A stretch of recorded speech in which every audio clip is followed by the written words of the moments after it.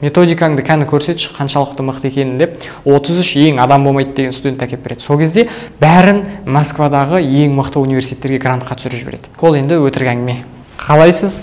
Ұбт ға қалай дайындалмау керек екендігін айтатын боламын бүгін. Енді әрине бұл мүлде дайындалмай жатып алу емес қандай методикамен дайындалған дұрыс емес. Яғни соны айтатын боламын. Енді бұл видеоны түсіру үшін маған әртүрлі ақпараттарды қарау керек болды. Маған енді біреудің айтқанын қайталап қалмас үшін бүткіл осындай кеңес беріп жатқан яғни ютубта қалай дұрыс дайындалу керек екендігін айтып жатқан барлық видеоларды көріп шықтым десем де болады. Және ұбт ға дайындап жатқан орталықтардың барлық сабақтарын көрдім. Яғни пробный ретінде шығарып қойған сабақтарын қарап шықтым. Сонда барлығы кеңес бергенде бір затты ұмытып кетіп жатыр да барлығы. Енді ұмытып кетіп жатыр немесе білмейді деген сөз да. Оны енді өздеріңіз көресіздер. Енді сол жайлы айтып берейін деп отырмын. Ол не? Сәл күте тұрыңыз. Сіз осы видеоны соңына дейін көріп шықсаңыз болады. Бірақ дәл қазірден бастап біздің есте сақтау сабағымызды тәжірибелерімізді қызықты теория сабақтарымызды осы видеоның төмен жағында орналасқан сілтеме арқылы өтіп біздің онлайн физика ботынан сабақтарымызды тегін ала аласыз. Яғни ұбт ға дайындалғанда бірінші бәрінің жіберетін қателігі дайындық жіберген кезде. Кітапша талдау дейді. Яғни ең соңғы үлгідегі яғни ұбт да осы точно келеді ұбт да яғни соны біз талдап көрсетіп жатырмыз деп бәрі өз жарнамасы үшін пайдаланып жатыр да яғни ол ешқандай ұбт да келеді деген есептер ешқашан берілмейді және ол биылғы келген есептер ол дәлме дәл ол екінші жылы қайталанбайды оған сену деген ол енді өте ақымақтық болады себебі келу ықтималдық жоқ десе де болады ал енді сонда қайдан келеді деген сұрақ пайда болады. Ұбт ның сұрақтары қайдан алынады ол енді қарапайым қай сабақтан дайындалып жүрсіз? Соның басталған мысалы физика болса жетінші сыныптан басталды он бірінші сыныпқа дейін оқыды. Сол кітапта не бар? Соны ұбт да сұрайды.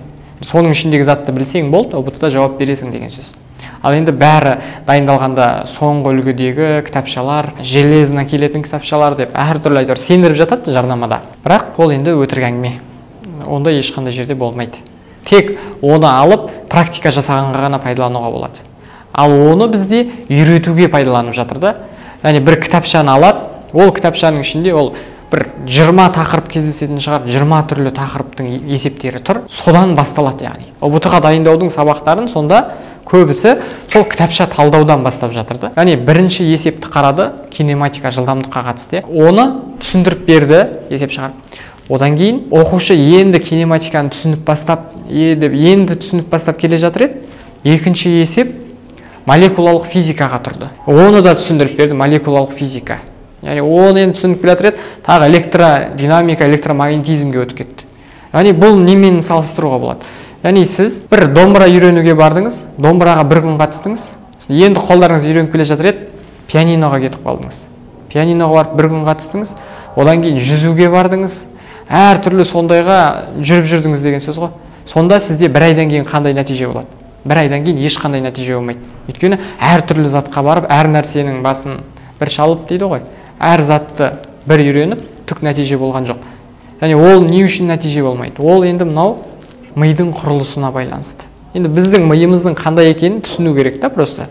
Біздің миымыз яғни мидың суретін сала салайын ондай керемет суретшілігім жоқ суретке қатыспағанмын енді мидың ішінде нейрондар ғой иә ең қарапайым айтқан кезде. Бізге апай келді да жылдамдықтың формуласы в тең с бөлінген т деп айтып бере салды.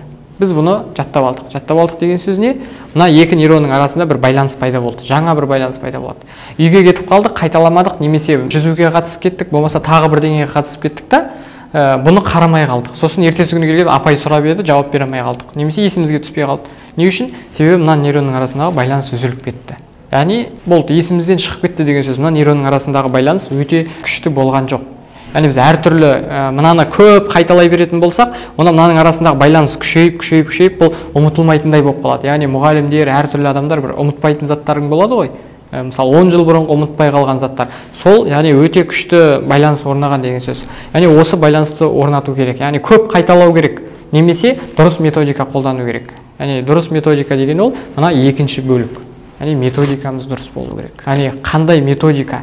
Яғни оқушы сонда дайындалмас бұрын осыны білу керек еді. Ми қалай жұмыс істейтінін иә? Мына жердегі бір нейронның байланыс пайда қылды екінші күні молекуланың есебін шығарды екінші байланыс сөйтіп үшінші байланыс төртінші байланыс деп әртүрлі осындай әлсіз байланыстарды жинап алады да ол сол күні бір керемет көп зат үйреніп кеткен сияқты сезіледі. Яғни бір ұбт ға дайындау орталыққа барған кезде пробный сабағына қатысса оған бір өте керемет затты беріп жіберген сияқты сезіледі. Себебі ол әртүрлі жаңа байланыстар қалыптастырып жіберді. Сондықтан ол бір көп біліп кеткен сияқты болды. Бірақ ертесі күні не үшін ұмытып қалады? Ол байланыс күшті емес. Сондықтан ұмытып қалды. Сонда бұл әр тақырыпты дұрыс методикамен күшті байланыс қалыптастырып отыру керек. Кинематиканы алды ма? Кинематиканы күшті қылып тастау керек. Одан кейін ә, одан кейін молекула ма? Молекула. Ядролық физика ма? Ядролық физика. Барлығын күшті бекітіп отыру керек. Сонда ұбт ға дайындалатын адам мынаны білу керек еді.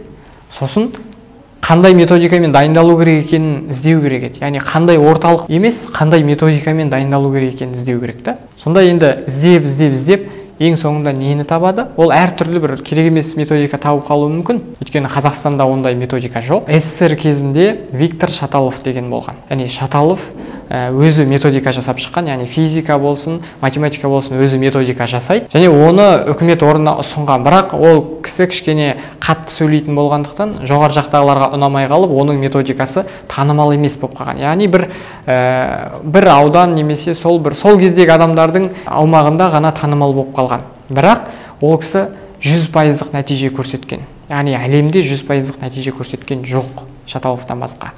Интернетке шаталов деп жазсаңыздар шығады. Методикаңды кәні көрсетші қаншалықты мықты екенін деп 33 ең адам болмайды деген студент әкеліп береді. Сол кезде бәрін москвадағы ең мықты университеттерге грантқа түсіріп жібереді. Сөйтіп бәрін мойындатады ол. Енді ол бүткіл методикасын еңбектерін орыс тілінде жазып кетті да. Ал біз оны алып қазақшаға аударып айтып жатырмыз. Сонымен методика жайлы сұрақтарыңыз бар болса қалай жұмыс істейтінін көргілеріңіз келсе және 10 минуттық сабағымызды тегін көргілеріңіз келсе төменге номерлеріңізді қалдырыңыздар. Біз тегін сабақты жібереміз және шаталов методикасы жайлы тағы біраз пайдалы ақпараттарды жіберетін боламыз. Төменге өз номеріңізді яғни whatsapp номеріңізді қалдыра жеткілікті.